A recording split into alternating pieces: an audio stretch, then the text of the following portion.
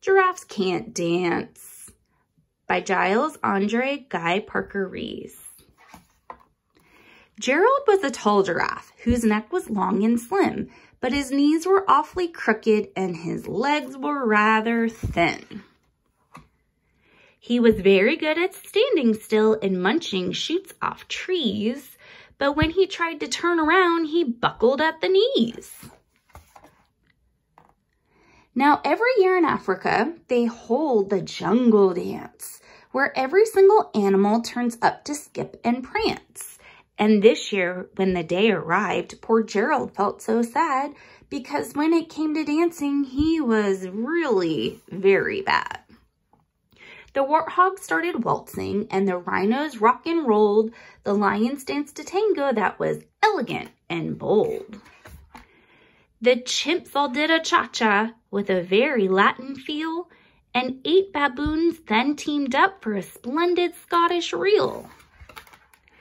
Gerald swallowed bravely as he walked toward the floor, but the lions saw him coming and they soon began to roar.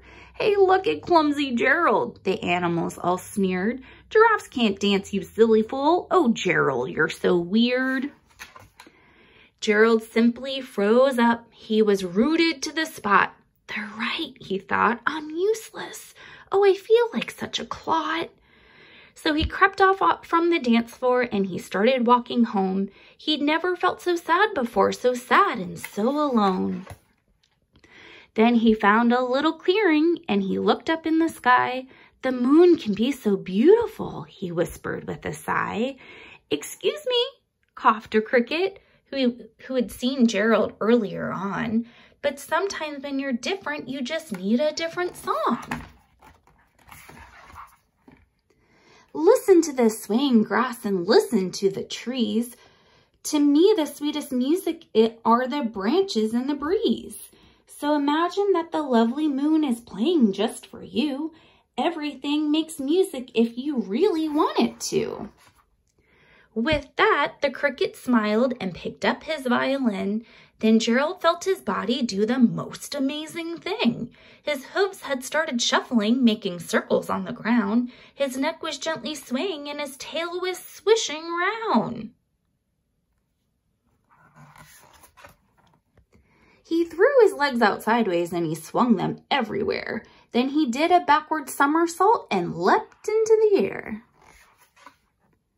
Gerald felt so wonderful. His mouth was open wide. I'm dancing. Yes, I'm dancing. I am dancing, Gerald cried. Then one by one, each animal who had been there at the dance arrived while Gerald boogied on and watched them quite entranced. They shouted, it's a miracle. We must be in a dream. Gerald's the best dancer that we have ever seen.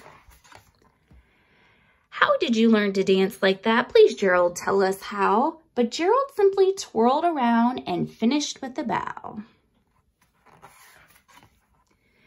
Then he raised his head and looked up at the moon and stars above. We all can dance, he said, when we find music that we love.